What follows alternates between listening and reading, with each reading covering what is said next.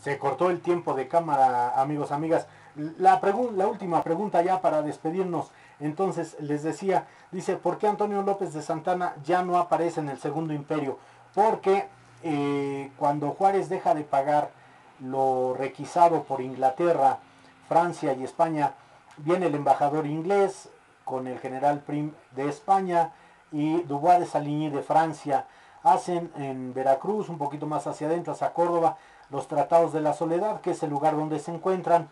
Francia, eh, España e Inglaterra se retiran agradeciendo la hospitalidad del presidente Juárez eh, a un lugar de costa tan difícil y lo que les dice es esto, eh, que se van y, entonces ve el general Prim como eh, Saligny va, ya viene, Lorenzés viene bajando con infinidad de tropas, viene y le dice, no es lo que quedamos, no estás respetando los tratados de la soledad. Y dice, pues no, y es ahí donde ya se queda para la invasión francesa de 1862, la que se va a celebrar el 5 de mayo de 1862.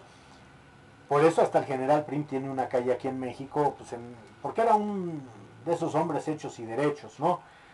Porque Santana ya no está y tampoco aparece en Segundo Imperio lo que es este Dubois de Salini, porque recuerden ustedes que quien viene también al mando de todas las tropas, en general, como gran mariscal, es Aquiles Bazán. Aquiles Bazán, él es el que corre, expulsa de México a Antonio López de Santana y a Salini. Santana porque iba a estorbar y seguía estorbando y ya quería su hueso. No pudo y lo corrió. Y Salini como miembro plenipotenciario y por eso cuando regresa Bazán a, a, París, bueno, pues le hace la vida imposible. Pero ya no le queda mucha vida a, Salini tampoco para dar tanta lata. muere de forma natural, de enfermedad. Se casa con una mexicana, eh, hija de una señora de apellido Borbolla. Lucecita se llamaba la, la esposa de Salini. Entonces, muy amigos, muy amigos de Juan Nepomuceno Almonte. Y entonces pues es ahí donde, donde precisamente ya no aparece Santana, gracias a Dios, y luego ya después se va a morir el, general Santana.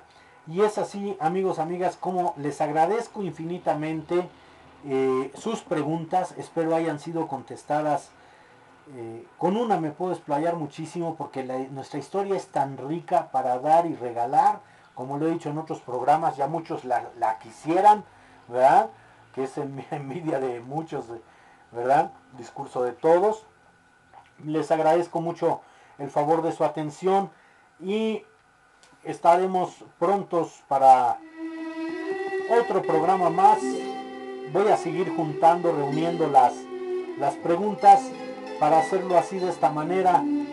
Si ustedes se dieron cuenta, fueron preguntas muy salteadas, pero en realidad esperando haber eh, dejado satisfecho el conocimiento por la historia y, el conocimiento particular de todos y cada uno de ustedes.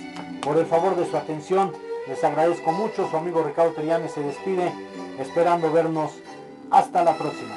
Gracias. Nos vemos pronto.